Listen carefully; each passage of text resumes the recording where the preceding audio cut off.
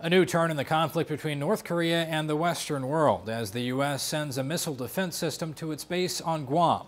The new development was announced Wednesday by the Pentagon and U.S. Secretary of Defense Chuck Hagel. As they have ratcheted up their bellicose, dangerous rhetoric and some of the actions they've taken over the last few weeks, uh, present a, a, real and clear danger. The advanced missile defense system is expected to be deployed in the coming weeks and comes after several unpleasant reports from North Korea.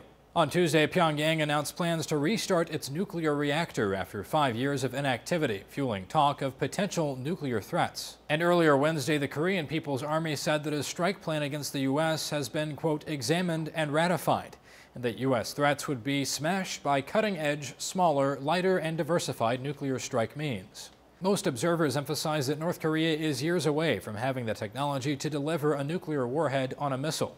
But Chuck Hagel made it clear Wednesday he believes North Korea does have the missile delivery capacity to hit Guam only 2,000 miles away in the Pacific Ocean. The new threats are being labeled as the most substantial in recent history by several media outlets.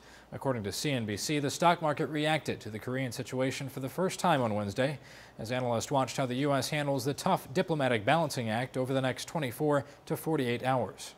Certainly the United it's States want to be seen as very strong, but on the other hand, you might provoke further action uh, from North Korea. It is really tricky, and what they're trying to do is get inside the heads of the North Korean leadership. But not all analysts are convinced a missile attack is impending. A North Korea insider points out to Fox News that provocations are typical in the weeks leading up to April 15th the birthday of North Korea's founder, Kim Il-sung. The most dangerous time will be sometime during our summer when our military exercises with South Korea conclude at the end of this month, when our state of readiness falls back to normal when we're not looking. The missile defense system in Guam adds to the U.S. presence around North Korea. A series of stealth fighters and nuclear-capable B-52 bombers, as well as two destroyers, were all recently sent to South Korea.